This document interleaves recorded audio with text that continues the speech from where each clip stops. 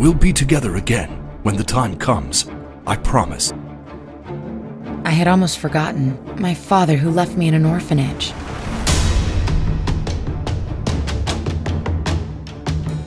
But after 10 years, I accidentally received this message that was addressed to my father.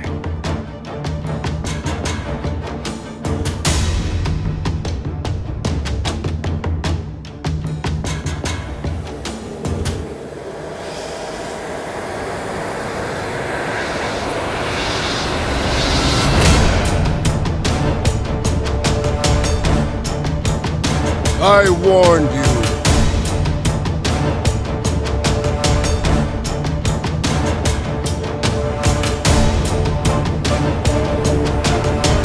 Leave my property at once!